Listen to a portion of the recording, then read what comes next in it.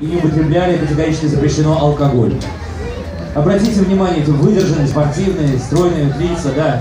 Вот что происходит с людьми, если долго не есть макарон и плохо понимать русский язык.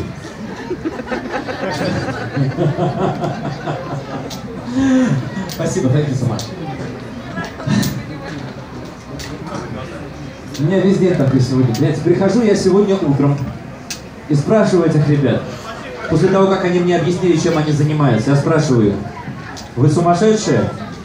Они мне знаете, что отвечают? Нет, мы чемпионы мира по макаронному мостостроению. Аплодисменты чемпионов.